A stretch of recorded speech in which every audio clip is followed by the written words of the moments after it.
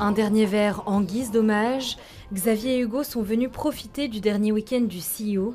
Et même si la bière a un arrière-goût de nostalgie, l'heure est avant tout à la fête. Effectivement, il fait beau. euh, il y a des chouettes activités, concert de Johnny Cadillac, donc euh, on pense pas à nostalgie pour l'instant. Mais c'est cool, c'est que mon ami ici me l'a montré euh, bah voilà, pour la première fois cet endroit-là, qui a vraiment beaucoup de charme, une belle authenticité. Authenticité et simplicité, une recette qui marche et qui attire des familles, mais également de nombreux groupes d'amis.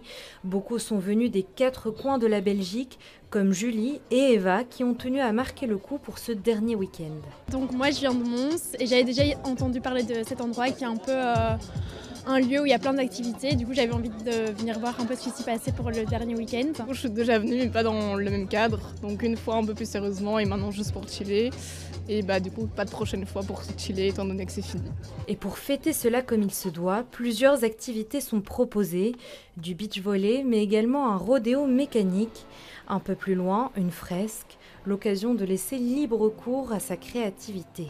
Bah là, je fais des bonhommes que j'avais un peu dans mon imagination. Là, c'est une baleine avec une corne, par exemple. Et là, je suis en train de faire un peu une fusée un peu vivante.